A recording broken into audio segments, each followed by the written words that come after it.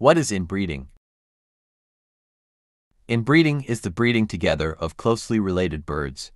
Pairing of siblings, parents to offspring, grandparents to grandchildren, half brothers to half sisters are all examples of inbreeding.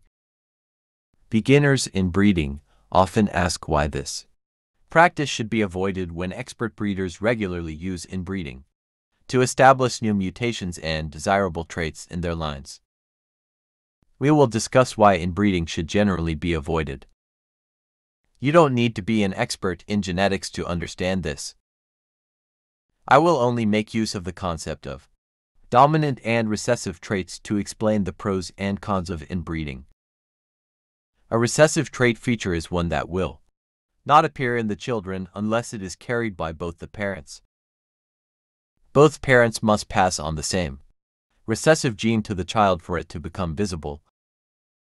Most undesirable features are genetically recessive in nature. If they were dominant, they would quickly spread to the whole population and threaten the well-being of the species. Our birds may carry many such genes without showing any visible signs. For example, they may carry a gene for a short tail, a gene that causes infertility and another that causes crooked toes. However, our birds look perfectly fit and healthy because they only have a single copy of this gene. If they had two copies of the same gene, they would show the effect of these genes by having a short tail or crooked toes, or infertility. When we breed such a bird, there is a 50% chance for each undesirable gene to be passed on to the offspring, since there may be several undesirable genes in a single bird. It is very probable that a given offspring will inherit some of these undesirable genes. Let us now consider what happens when we breed to siblings from this bird that was carrying the undesirable genes. Each of the two siblings has a 50% chance of inheriting each of the undesirable genes from the parent.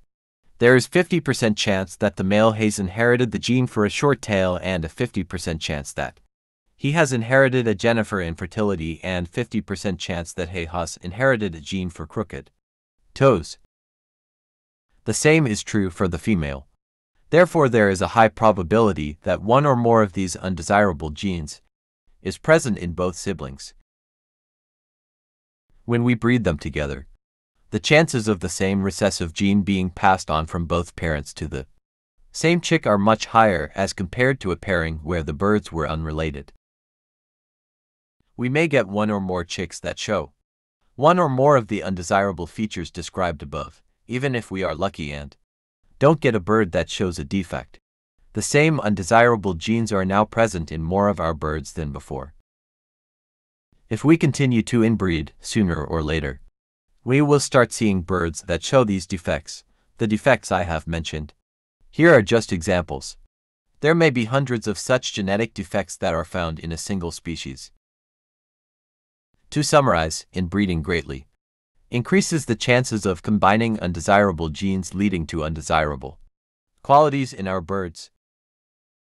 Even an expert practicing inbreeding to improve his birds may see the effects of the undesirable genes coming together and producing defective birds. Inbreeding should be avoided. If done irresponsibly, it can lead to defective birds high mortality and infertility, but with careful planning, it can be used to breed some wonderful birds. Thanks for watching.